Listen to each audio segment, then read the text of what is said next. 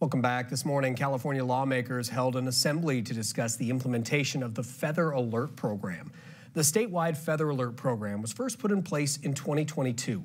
It allows CHP, that's California Highway Patrol, to send out information immediately after a tribal member is reported missing under certain circumstances, similar to the nationwide Amber Alert system.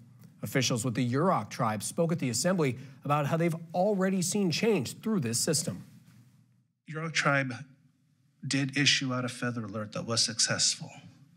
And some of the observations that I seen from that feather alert were uh, between my department's social media page, the Yurok tribe's uh, social media page, we had uh, nearly a thousand shares of this feather alert.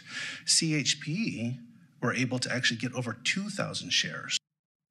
At the meeting, tribal leaders discussed proposed changes to how the feather alerts are run. They spoke about wanting to allow local law enforcement and tribal police agencies to be able to issue the alerts instead of it be done solely through CHP.